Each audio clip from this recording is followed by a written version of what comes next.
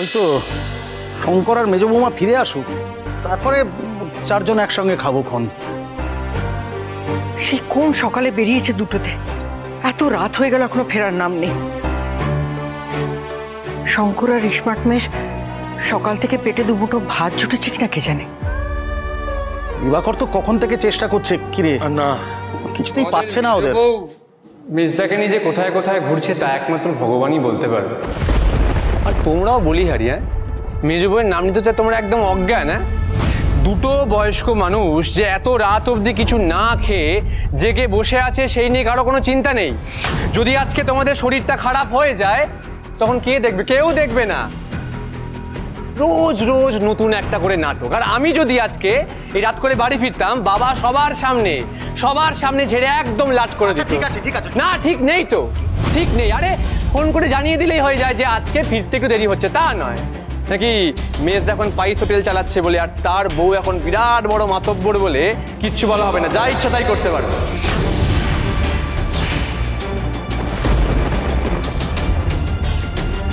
ভাস্কর মিসদা phone করেছিল তো বলেছে ওদের ফিরতে দেরি হবে অনেক রাত হবে। ও মামা ফোন করেছিল না তোমাকে একটু আগে? তো তো আরে না না দেরি মানে কত রাত? মধ্যরাত নাকি ভোর রাত কিচ্ছুতে বলেনি যা এটা বলে দিলেই হয়ে গেল। আমি বলছি তোমরা এখন জেগে টেগে না থেকে কিছু খেয়ে নাও নিলে শরীর খারাপ করবে তো। মামা বলছিলাম আমারও তাই মনে হয়। তুমি এবার খেয়ে নাও নাহলে তোমার তোমার অম্বল হয়ে যাবে। আর মামিরও তো সুগার। আর তাছাড়া মেজদার মেজো বৌদি যদি এসে দেখে তোমরা এইভাবে না খেয়ে দিয়ে বসে আছো ওদের কিন্তু খুব খারাপ লাগবে। থাক দিবাকর থাক। মেজ বউয়ের খারাপ লাগার কথা আর বলো না। মেজ বউয়েরও তো কাণ্ডজ্ঞান নেই বুঝলে তো? মেজ বউ এখন কোনো মহান কর্মে মেতে আছে দিগ্বিজয় করে তারপর ফিরবে। তারপর এসে সবাইকে নিজের কীর্তি কাহিনী শোনাবে বাড়ির সবাই ওকে বাহবা দেবে আর সেটাই মেজ বউয়ের কাছে সব থেকে বড়। কেন বড় বৌদি? মেজ বৌদি নিজের ঢাক আবার কবে থেকে নিজে পেটাতে শুরু করল? না না পেটায় না। ভাস্কর শোনো শোনো শিউলি কি বলছে শোনো হুম তা হবে না সেজে বৌদি হচ্ছে এখন মেজদার বউয়ের দলে বাড়ির মাতব্বর বলে কথা তাই কোনো দোষ টোষ দেখতে পাচ্ছি না।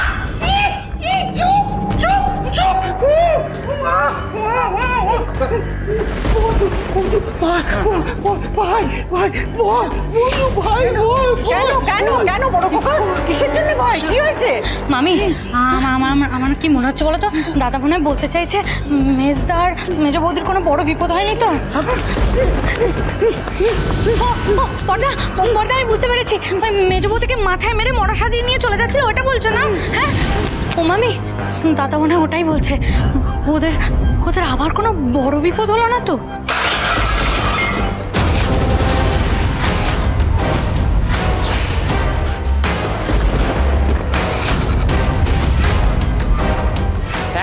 ঠিক মতন করে করতে পারে না। মানে আসলে ভয় হাতটা পিছলে পড়ে গেল। এক বউ নাটকে আর এক বউ নাকা জুটেছে এই বাড়িতে। যা, বাসনগুলো তুলে গিয়ে রেখে আয় রান্নাঘরে।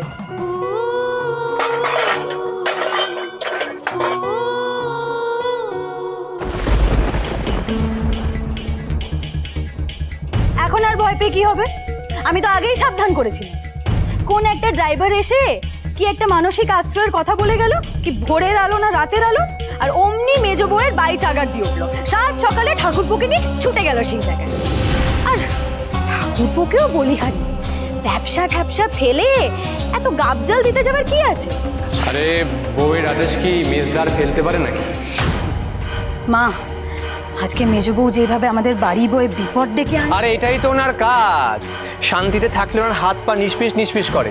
তাই কখন একটা অঘটন ঘটিয়ে দেওয়া যায় একটা বিপদ টেনে না যায় সারাক্ষণ এইসব মতলব মাথায় একদম আটছে। মা মেজ বউয়ের জন্য যদি আজকে ঠাকুরপুর কোনো রকম কোনো বিপদ হয় আমি কিন্তু বলে রাখছি আমি মেজ বউকে কোনো দিনও ক্ষমা করব না। আহ তোরা একটু থামবি। এসব অলক্ষণে কথা না বললেই নয়, না?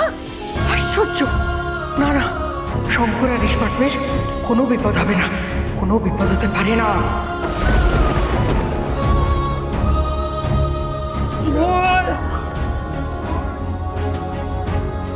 ভাস্কর! তুই ছোট ভাই তো, তাই তোকে একটা কথা বলি।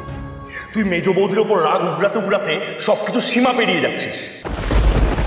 যে মানুষটা সবসময় আমাদের পরিবারকে সমস্ত বিপদ থেকে রক্ষা করার চেষ্টা করে চলেছে তুই তার নামে এত অকথা কুকথা বলিস না। তারপরে শেষে একদিন দেখবি আফসোস করে কুল কিনে না পাচ্ছিস না। কি আফসোস? আমি কোনো বাজে কথা বলছি না। আর একটা কথা না একদম কান খুলে শুনে রাখ এইসবের জন্য আমি কোনোদিনও আফসোস করব না।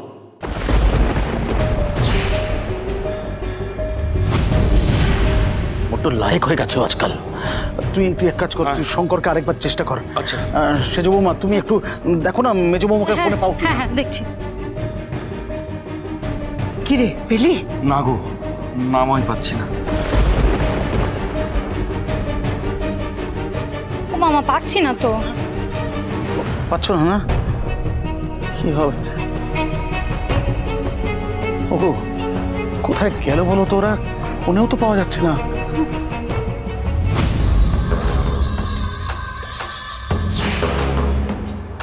রামধনুর ভেতরে ঢুকলে ফোনের নেটওয়ার্ক থাকবে না। মেজো কি রামধনুর ভেতরে ঢুকেছে নাকি? ওখানে গিয়ে আবার কোনো ঝামেলা টামেলা করছে না তো? মেজো জিনিস, ভাঙবে তবু মুচকাবে না। কি যে হচ্ছে কে জানে? একবার তাপসকে ফোন করে খবর নিতে হবে।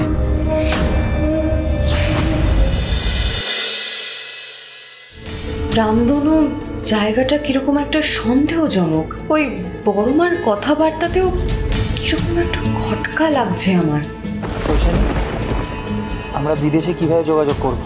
আর যদি এই ভদ্রলোকের সাথে আমরা যোগাযোগ করি, আর এই ভদ্রলোক যদি দাদার মেয়ে আর দাদার স্ত্রীকে ফিরিয়ে দিতে রাজি না হয়, তাহলে আমরা কি করব? তাহলে তো ওদেরকে উদ্ধার করার আমাদের কাছে কোনো উপায় থাকবে না।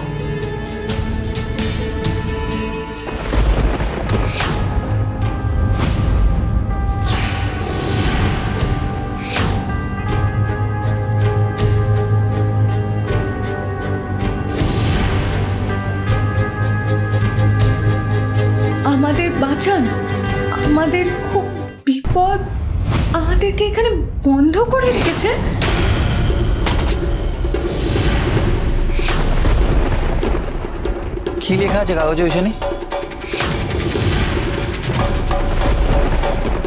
শঙ্কর আমার সন্দেহটাই ঠিক ছিল। কি সন্দেহ? আমরা যখন রামধনুর মেয়েদের ঘরে গিয়েছিলাম একটা মেয়ে গ্লাস ভেঙে ফেলেছিল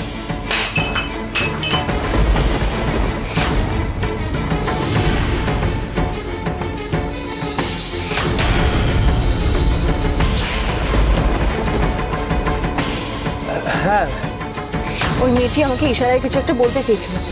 আর তখনই না আমার খটকা লেগেছিল। আর ওই যে ভাড়ার ঘরে ওখানে একটা আওয়াজ হয়েছিল। তুমি শুনেছিলে তো? আচ্ছা ভেবলি আর ও মেয়ে ঝিলমিল।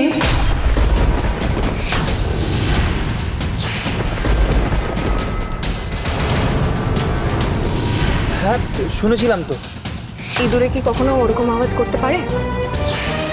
না। আর ভাড়ার ঘরের দরজার তালাটাও নতুন। কেন? হঠাৎ করে ভাড়ার ঘরে নতুন তালা কেন লাগবে?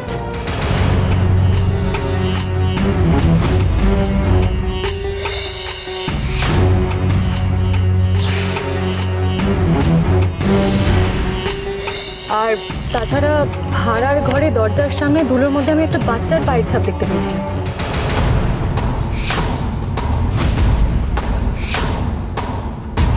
আর রামধনুতে বাচ্চা বলতে খালি ঝিলমিলি ছিল। আর সেটা তো বড় মা নিজে মুখেই বলল। বাচ্চা বলতে তো ওই একজনই ঝিলমিল। এই কাগজটা পাওয়ার পর আমি আরও শিওর হয়ে গেছি শঙ্কর দাদা স্ত্রী আর মেয়ে কোথাও যায়নি। রামধনুতেই আছে। অস্ট্রেলিয়ার ওসব মিস্টার বেকার টেকার সব বাজে কথা। সব গল্প। দেখি কি লেখা আছে কাগজটায়। আমাদেরকে বাঁচান। আমরা খুব বিপদে পড়েছি আমাদেরকে এখানে বন্ধ করে রেখেছে। এই কাগজটা পাওয়ার পরে আমি নিশ্চিত শঙ্কর এই রামধনুর মধ্যে একটা বিরাট রহস্য লুকিয়ে আছে। আর সব থেকে বড় কথা ওই মা। উনি আমাদেরকে মিথ্যে কথা বলেছেন। দাদা স্ত্রী আর মেয়েকে এখানেই আটকে রাখা হয়েছে। তাহলে এখন আমরা কি করব? আমরা কি ফিরে যাব রামধনুতে? না শঙ্কর।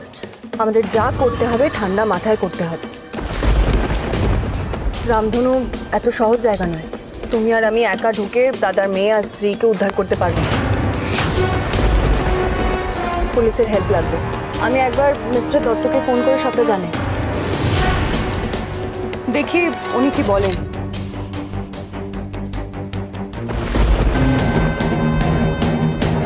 আমার ফোনে নেটওয়ার্ক নেই। তোমার ফোনটা একবার দেখো